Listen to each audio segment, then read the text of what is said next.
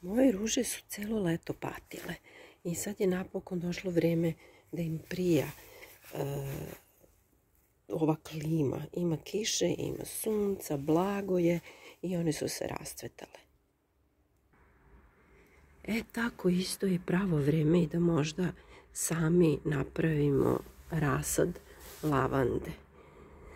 E, uzmu se reznice, znači iseču se ti neki delovi gornji od lavande, bukvalno sa štapićem napravite rupicu e, i samo ovaj, u ovu rupicu ubacite reznicu. Pre toga e, reznicu stavite u vodu sa cimetom.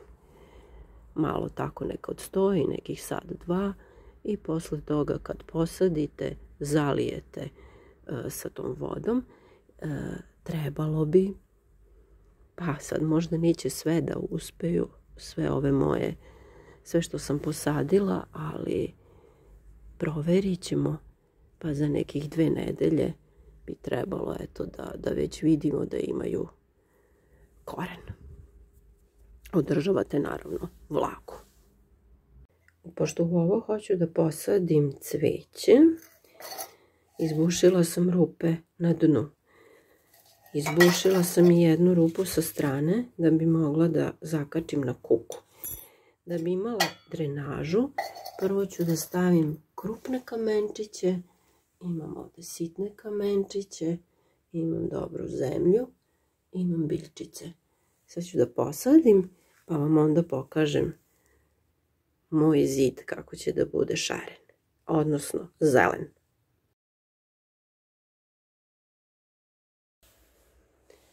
I pošto je tako dobro vreme za sađenje, onda sam ja uzelenila i ovaj moj zid.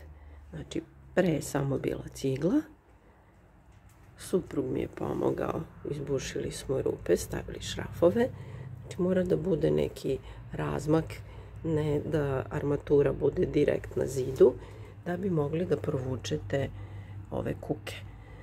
E, pre toga sam naravno sakupljala ove limenkice, izbušili smo rupe dole za drenažu, ubacili kamenčiće vodu i sada znači samo čekamo da se ovo zelenilo još malo više e, raširi i da moj zid bude onda lepo zelen.